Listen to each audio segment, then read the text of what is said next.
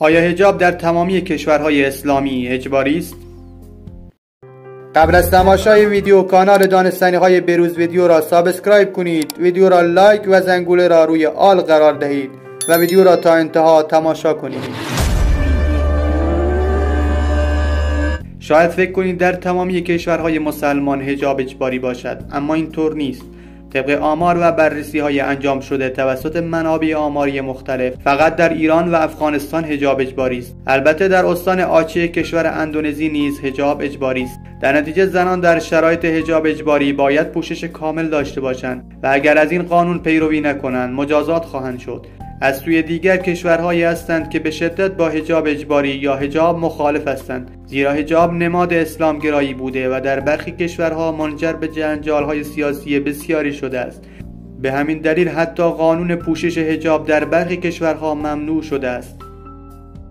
کشور افغانستان طالبان در سال 1400 پس از 20 سال بر افغانستان مسلط شده و در این کشور هجاب را اجباری کرد. در حالی که قبل از ورود طالبان هجاب در این کشور اختیاری بوده و حتی مجریان تلویزیونی شبکه های افغانستان بدون داشتن هجاب برنامه اجرا می کردند اکنون در این کشور زنان باید صورت خود را نیز با برقه بپوشانند. به گفته طالبان چهری زن عامل اصلی فساد مردان است و به گفته تحلیلگران چنین تفکرات افراطی دوام نخواهد آورد.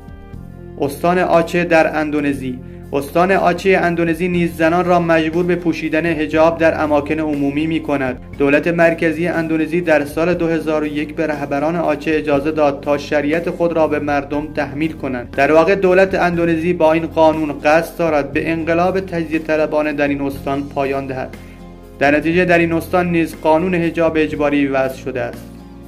وضعیت کشورهای عربی در زمینه هجاب بد نیست بدانید که در امارات متحده عربی زنان بومی یا توریست باید لباسهای مناسب به تن داشته باشند.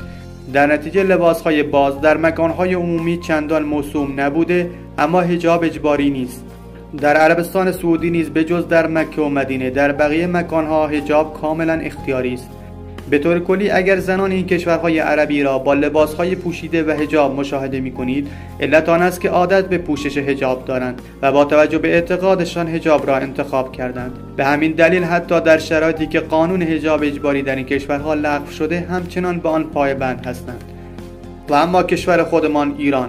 پس از انقلاب اسلامی در سال 1357 ایران هجاب و پوشش اسلامی را در کشور خود اجباری کرده بود. در نتیجه در مؤسسات دانشگاهی و ادارات دولتی پوشیدن آن در ایران اجباری شد.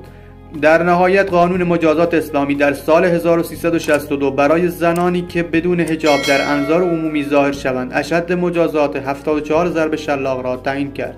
تهران در سال 1363 قانون پوشش سختگیرانی را برای زنان اعلام کرد که حتی در مؤسسات عمومی نیز باید رعایت می‌شد. در نتیجه طبق قانونی که برای زنان ایرانی وضع شد در مؤسسات مذهبی و دولتی باید از مقنعه و مانتو استفاده شود. در حالی که در سایر مکانهای عمومی زنان می توانند از روسری های آزاد و شال استفاده کنند.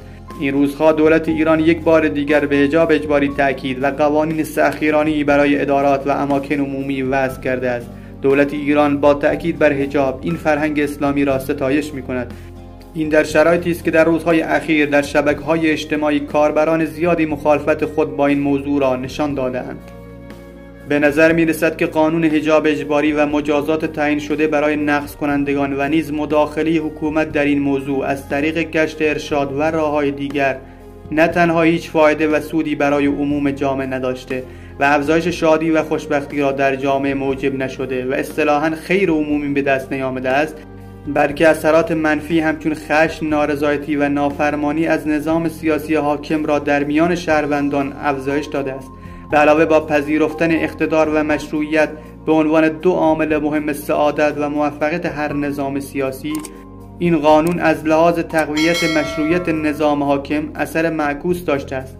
لذا چنین قانونی عادلانه نیست و نمی‌تواند سعادت جامعه را تأمین نماید.